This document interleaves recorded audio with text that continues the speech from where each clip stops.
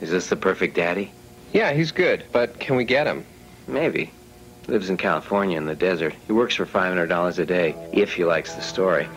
Plus, we'll have to send him a round trip ticket. I think he's what you're looking for. The original daddy of gay porn, Richard Locke, burst onto the gay erotic film scene in 1974 and quickly became a fixture among gay men who were into the rugged and sexy male look that differed from the films that were coming out of California. But Richard Locke was more of a Renaissance man all rolled into one human. On this episode, we're going to celebrate Richard Locke, the macho gay male porn star, regarded as having been an integral part of a highly developed star system in gay adult films with a filmography and physique that helped shape and define the parameters of gay adult film. This is Demystifying Gay Porn. My name is I. Que Grande, and if you watch gay porn, I've definitely helped to get off. Before we continue, I want to remind you that you can help this channel and its original yet risque content by liking, clicking the subscribe button, or selecting the bell icon for notifications to see more content like this. And for all you podcast listeners, leave a review or rate it if you can. Thank you.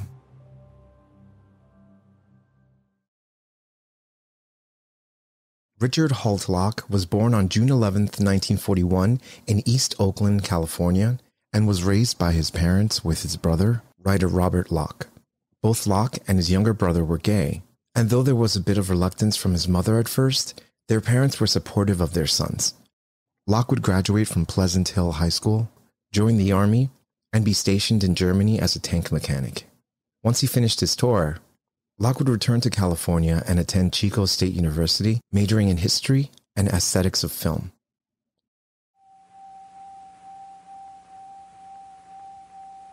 Locke had contemplated a life in film, but realized early on in order to make films in Hollywood, you had to have money, know somebody, or be in a union. Five years later, while in Hollywood, Locke met somebody that asked him if he wanted to be in a movie. A rather different film where actors would take their clothes off, but a film altogether. One of Locke's first film roles was in Passing Strangers, directed by Arthur J. Bressan in 1974. Later that year, Locke would be featured in Dreamer, an adult film by director Jim West. But Locke would go on to gain a cult following after his recurring role as Hank in Joe Gage's Working Man trilogy Kansas City Trucking Company, El Paso Wrecking Corps, and LA Tool and Die. Locke developed a working relationship with directors Joe Gage and Arthur J. Bressan. Locke struck up a conversation with Bressan after attending the screening of his short film Boys, and the two remained friends afterwards. Bressan would go on to write Forbidden Letters with Richard Locke in mind and was shot over a period of five years. Locke would go on to have a prolific career appearing in films throughout the rest of the 70s and the mid 1980s. Locke's success was contributed to his overt sexual positivity, his age, his body frame, and dark hair. Locke really was tall, dark, and handsome.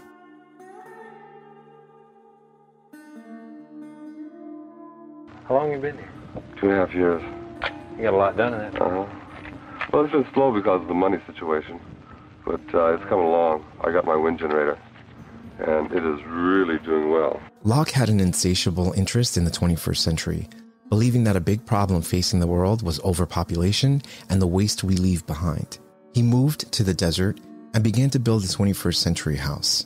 As it was, Locke always considered his career as a porn star secondary to his career as a solar house designer and builder. I'm going to use some reflectors like that on my solar collector for my hot water heater.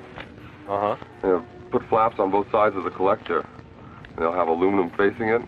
Yeah. And at night they'll be closed on top of it so that the cold won't get into it. In the morning you open them up like this.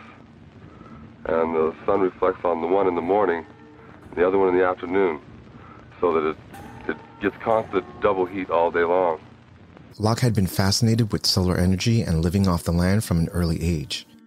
In 1975, he settled on an old soldier settlement property and built a geodesic domed home powered by electricity from his own windmill. You know, you can become self-sufficient here. You don't have to pay a thing. You're, you're growing your groceries and whatever. So my tax is ten dollars a year because I live in the desert. Nobody wants to live in the desert. you know, but for me, it's me.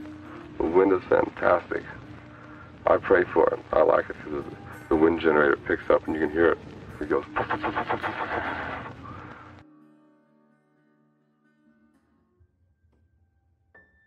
In 1983, Locke was diagnosed with HIV and retired from adult cinema and became an HIV/AIDS activist. He received an education from the American Red Cross, Gay Men's Health Crisis in New York City, and Michael Callen and Richard Berkowitz's book, How to Have Sex in an Epidemic one of the first reading materials developed for the gay community during the HIV AIDS epidemic. Locke would used his celebrity to make appearances at sensible sex seminars to try and influence a younger generation. Around the same time, Locke became a regular visitor to Ward 5B, the first inpatient AIDS ward in the country in San Francisco General Hospital, where he entertained patients, served brunch, and gave massages to people with AIDS. Locke would also traveled to Mexico routinely for HIV drugs and distribute them in an underground clinic in Sacramento. Locke would also write for the Bay Area Reporter, giving numbers of interviews and writing safe sex columns, eventually releasing a book of collected material called In the Heat of Passion How to Have Hotter, Safer Sex. Locke's last performance in a film was a non sexual role in Jerry Douglas's The Diamond Stud. How long? Two minutes.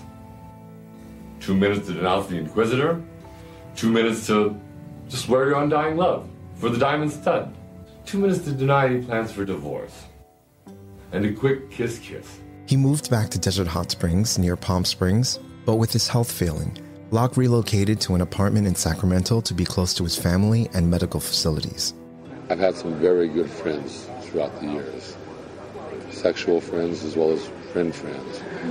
And uh, especially in this epidemic, I've learned that the most important thing that we have when all is said and done and we're ready to go wherever we're going to go when we die, the most important thing that you've had in your lifetime are friends. If you don't love yourself, nobody else is going to love you. No matter how many Prince Charmings come down the road, if you don't love yourself, they're not going to love you either. And they're not going to take care of you. And what happens when you have love of yourself, then you find it's easy to love other people. And not only that, it's easy for other people to love you. Love never stops. It's like light energy. Once light shoots off into space, it goes on forever. There's nothing to stop it. And that's the way it is with love. And once you've loved someone, that love exists mm. and can never, ever be taken away. Mm. On September 25th, 1996, Richard Holt Locke died of AIDS related lymphoma.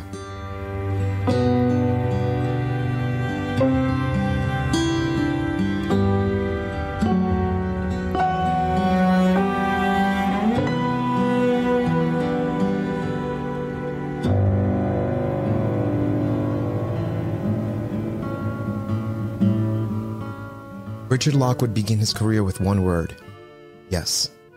A word that could have possibly been the title of his autobiography. I said yes.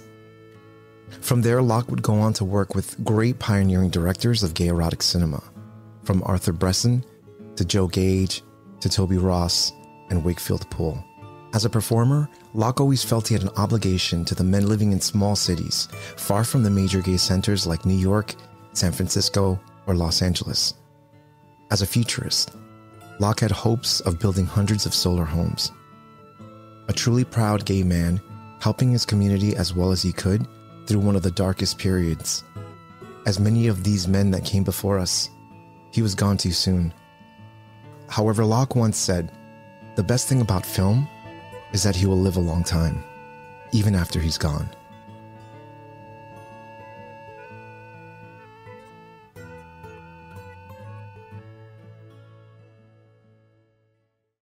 You've been watching Demystifying Gay Porn. I am your host, I. Que Grande.